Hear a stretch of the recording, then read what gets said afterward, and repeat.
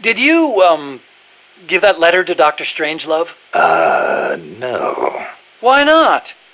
I gave it to you for a reason. It's highly important information. Sorry.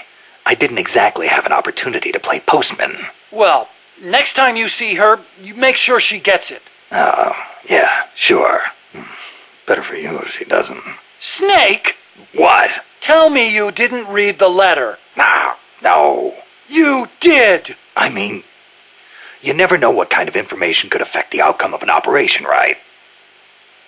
So, I. So you read the letter, after I specifically told you not to. What do you expect people to do when you tell them not to read something? I thought I knew you, Snake. I thought I could trust you.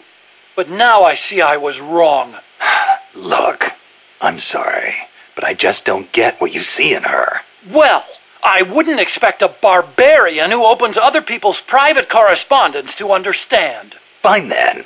Deliver it yourself. Huh? What? No, no, no, I, no, no way. I could never. You've got a long way to